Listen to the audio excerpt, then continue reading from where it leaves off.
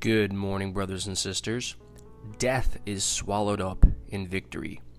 O death, where is your victory? O death, where is your sting? But thanks be to God who gives us the victory through our Lord Jesus Christ. 1 Corinthians 15 54 through 55 and 57. The resurrection seals what we could not victory over death. Death is the great enemy of mankind. It comes to everyone without exception. It violates our dominion of God's creation, breaks apart relationships, disrupts families, and causes us to grieve the loss of loved ones. However, Christ's resurrection has broken the power of death for Christians because death no longer is a master over him. Romans 6, verse 9. In today's passage, the Apostle Paul reminds us of the final victory over death that will result once we have been transformed into our resurrection bodies.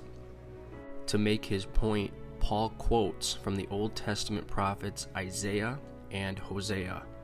In using Hosea's sting of death metaphor, Paul implies that death left its sting in Christ, as a bee leaves its stinger in its victim. On the cross, Jesus bore all of death's sting, sin, so we wouldn't have to bear any of it. When sin's penalty has been removed, death merely interrupts our earthly life and ushers us into the heavenly realm, where we will worship and praise God forever. Paul concludes in verse 57 by thanking God who provided us the triumph over sin and death. We also should be thankful to God who, through Christ's redeeming work, gave us what we could never have obtained by ourselves. God promises to all believers the heavenly in exchange for the earthly, and the immortal in exchange for the mortal. With Jesus Christ's triumph over death, we have no reason to fear what death can do to us. Instead, we should rejoice concerning the Lord's promise to us about the next life.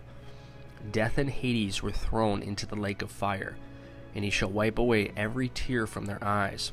And there shall no longer be any death. There shall no longer be any mourning, or crying, or pain. Revelation 20, verse 14, and Revelation 21, verse 4. Maranatha.